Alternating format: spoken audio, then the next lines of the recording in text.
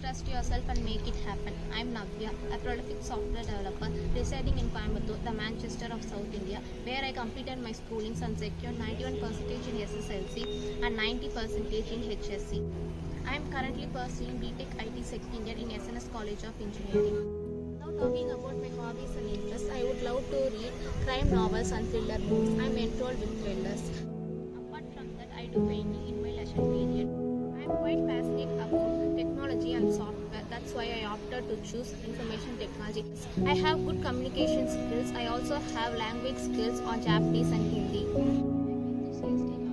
And I'm trying my best to gain more knowledge about my field. My goal is to become a well-trained, skilled and experienced software developer and to get placed in top IT company. I'm training myself to become a good, talented software developer. Thank you. Do follow me on LinkedIn.